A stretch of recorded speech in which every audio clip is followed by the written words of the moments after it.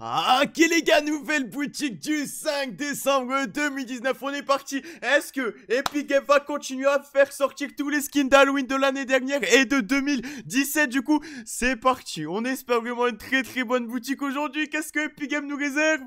Oh, suspense. Oh, oh, oh, Rien à voir avec ce qu'on attendait. Le retour des skins skieurs Ok, par contre, je pense que là, actuellement, il commence à être plutôt. Alors, du coup, on a le premier qui est juste ici. Le second qui est juste là, les gars, je vous épargne les sacs à dos. Alors du coup, on a déjà fait le pigeon. on a déjà fait le pigeon, on a déjà tout acheté. J'ai que clairement, normalement, je suis censé avoir tous les skieurs dans mon inventaire. Ok, alors du coup, là, on en a encore un. L'allemand qui est juste ici.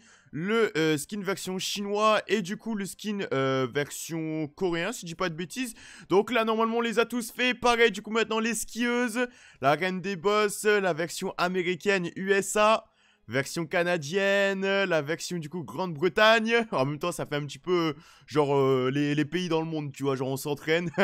France, Allemagne du coup, la version chinoise et enfin du coup la version coréenne qui est disponible. Du coup, on est bon là-dessus. Maintenant, on va passer avec le skin le Ninja du froid qui fait son retour, qui est disponible du coup au prix de 1500 V-Bucks. On continue ensuite avec la version féminine du skin, j'arrive jamais à la prononcer du coup, qui est dispo au prix de 1500 V-Bucks.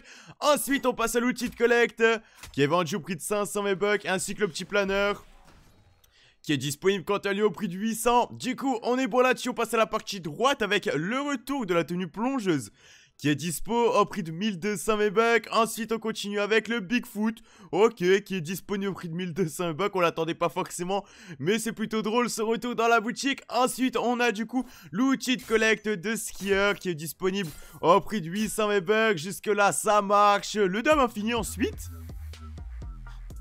Le dab infini du coup qui est dispo au prix de 500 V-Bucks qui doit jouer genre 40 heures dans les menus maintenant.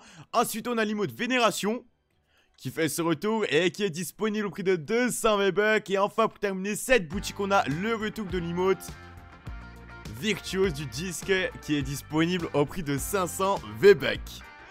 Du coup c'est tout pour cette boutique, n'hésitez pas à la noter sur 10 dans l'espace commentaire, pensez à poser le petit like, pensez à vous abonner, bonne journée à tous, peace